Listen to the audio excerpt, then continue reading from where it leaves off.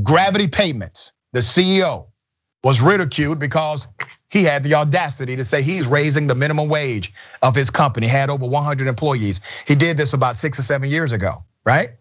Everybody, all the economists, all of the Republican pundits, they said this guy is going to lose. Company will fail. He cut his own salary to make sure everybody at the company could get at least $70,000 a year and more. Here's some of that background. What I wanted to announce today is we're gonna have a minimum uh, $70,000 pay rate for everyone that works here.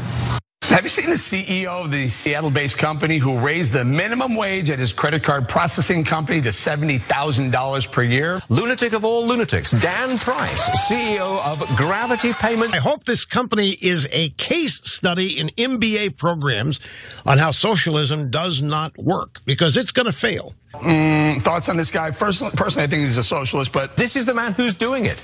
Are you a socialist? Well, look, you know, I don't support a minimum wage increase because it's a job killer, but he's a private business owner. If he wants to do this in between hugging trees. I have a hunch we're going to know Dan Price for a really long time. But the 130 employees of Gravity Payments, I think they're going to be on the welfare line.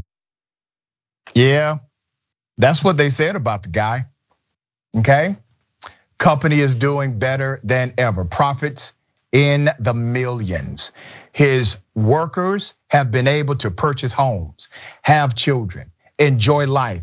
His retention rate is higher than the national average. Why? Because he did what the economists and the pundits said he could not do. He was fair. He was fair and it worked. Uh, let's put up this amazing uh, tweet from Mr. Dan Price, the CEO who has done the unbelievable. Dan Price said, six years ago today, I raised my company's minimum wage to $70,000. Fox News called me a socialist whose employees would be on bread lines.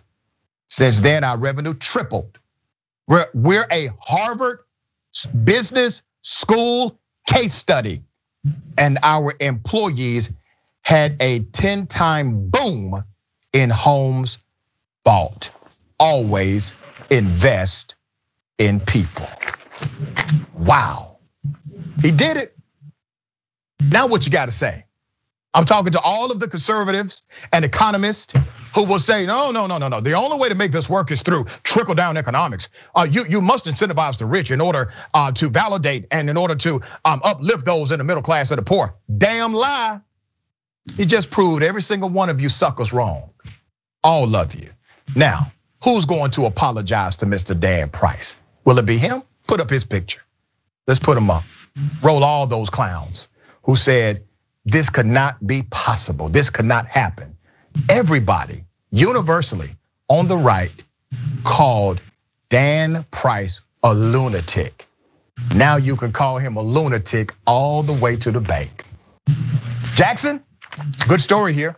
Yeah, great story. And I think uh, what it really demonstrates is the fruits to nurturing the better sides of our inescapable human nature, and that we're a collective and social species that really aims to give help and nurture and um, you know assist one another when we're in safe and supportive environments versus the opposite end that creates a scarcity mindset which really is what our business culture uh, runs on. Because it's common sense to think if you give more to people for their hard work and, and their efforts they will give more to the company. They'll give more to the mission.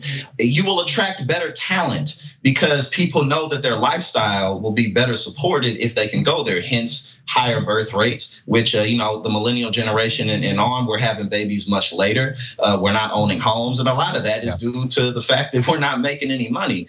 And you know, people being in bread lines for making more is just completely antithetical to logic and reality.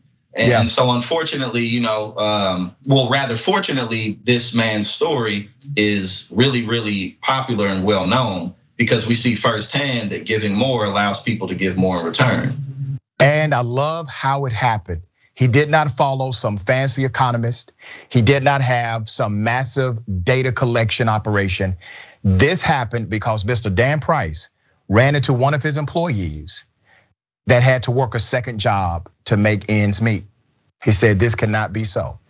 And because of that one employee, He cut his salary, transformed his entire matrix, and boom, six years later, one of the most successful companies in America.